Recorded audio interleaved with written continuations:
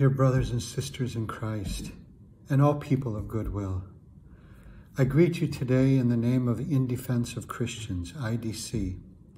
That would be Tanya Khoury, Andrew Doran, Richard Ghazal, Sarah Basile, the Board of Trustees, the Board of Advisors, the Board of Religious Advisors, as well as the staff, the interns, the volunteers, the chapter members, and numerous partners and generous benefactors on behalf of IDC.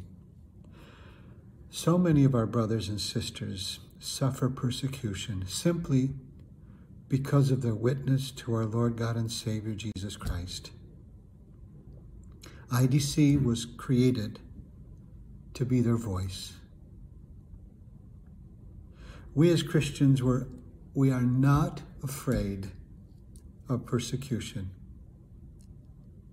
Nothing will deter us from witnessing to Christ crucified and raised from the dead.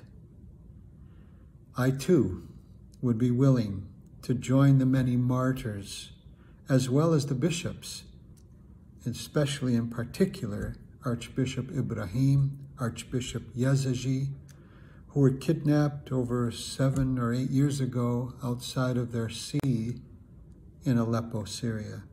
And we still are waiting and hoping to hear something. And we pray for them so that they're never alone.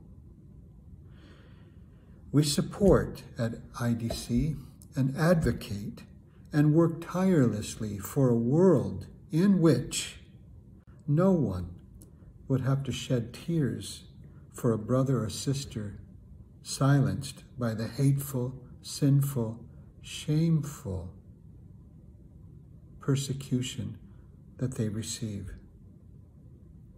And we at IDC speak for the voiceless and advocate to let their stories be heard in the halls of power here in the United States and elsewhere throughout the world, as well as in the media. It seems that it's getting worse, unfortunately. And so let us pray, brothers and sisters, that this Christmas, when God became man and dwelt among us, let us pray, let us offer financial support.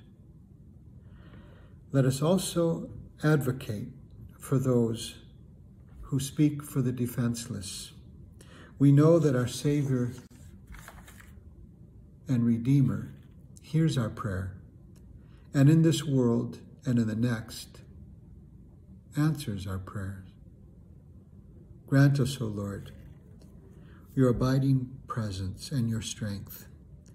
Lord our God, hear our prayer on your countless, for your countless witnesses, martyred and persecuted throughout the world for their faith in you. To you, O Christ, be glory and upon us your mercy, now and forever. We pray through Christ our Lord. Amen.